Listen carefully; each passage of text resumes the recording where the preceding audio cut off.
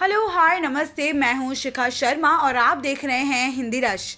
TV rush का भौकाल, यानी कि टीवी की बड़ी खबरें। शो कुछ रंग प्यार के, ऐसी भी की एक्टर आशीष रॉय इन दिनों आईसीयू में एडमिट है। बता दें कि उनका एक सोशल पोस्ट वायरल हो रहा है। इस पोस्ट पर उन्होंने अपनी आर्थिक मंदी के बारे में बात की है। उन्होंने बताया है कि उन्हें पैरालिस का अटैक आया था और वो कुछ दिनों से आईसीयू में हैं। जिसके चलते उन्हें कुछ पैसों की ज़रूरत है। उनके इस पोस्ट पर बहुत सारे एक्टर्स ने अपनी प्रतिक्रियाएँ दी हैं और कुछ लोगों ने उनकी बैंक की डिटेल्स भी मांगी है, जिसकी वजह से वो उनकी मदद कर सकें। बता दें कि आशीष रॉय को कुछ दिनों पहले ब्रेन में ब्लड क्लॉट्स हुए थे, जिससे उनकी सर्जरी भी हुई थी। अपनी बीमारी के चलते उन्हें बहुत समय से कोई भी नया प्रोजेक्ट नहीं मिला है। ये बहुत ही दुख की बात है कि इतने बड़े अभिनेता को आर्थिक मंदी का सामना करना पड़ रहा है। इन्हें अपने रंग प्यार के ऐसे भी के अलावा ससुराल सिमर का, मेरे अंगने में बा बहू और बेबी ब्योमकेश बख्श जैसे कई सारे सीरियल्स में देखा होगा। आगे बढ़ते हैं एक और मज़ेदार खबर की तरफ़। क्या आप जानते हैं सारा भाई वर्सेस सारा भाई के साहिल यानी सुमित राघवन प्रिया चोपड़ा की महाभारत का हिस्सा थे? जी हाँ आपने सही सुना। महाभारत में साहिल यानी कि सुमित भी शामिल थे। इस बारे में सुमित ने खुद खुलासा किया है और बताया है कि महाभारत में वो सुदामा के किरदार में नज़र आए थे। इस दौरान उनकी उम्र थी महज 16 साल। उन्हें नहीं पता था कि वो एक दिन टीवी इंडस्ट्री के इतिहास का हिस्सा बन जाएँगे।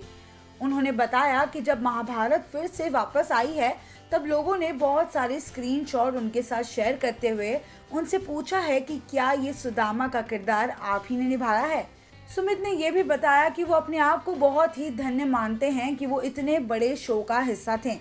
बता दें कि पावर कपल, विवेक दहिया और दिव्यंका दहिया एक साथ मिलकर एक बिज़नेस स्टार्ट कर रहे हैं।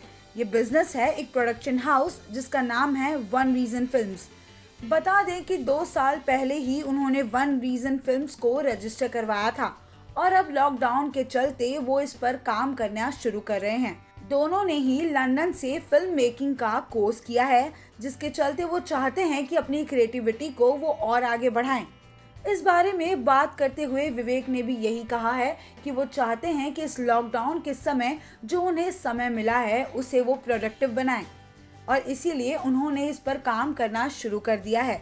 उन्होंने बताया है कि इस प्रोडक्शन के चलते उनका एक एड शूट भी शूट हुआ है। इसी के साथ बहुत सारे प्रोजेक्ट भी लाइंड अप हैं। लेकिन इन सब के बारे में वो धीरे धीरे खुलासा करेंगे। आपकी फेवरेट अभिनेत्री शिवांगी जोशी अपने ही जन्मदिन पर बहुत ही निराश थी। बता दें कि उन्होंने सोशल मीडिया पर पोस्ट किया था कि वो इस दिन अपने फ़ैन से बात करेंगी लाइव चैट के दौरान। लेकिन कुछ ही समय बाद उन्होंने एक और पोस्ट शेयर किया और लिखा कि वो लाइव नहीं आ सकती और इसके पीछे उनकी कोई पर्सनल प्रॉब्लम है।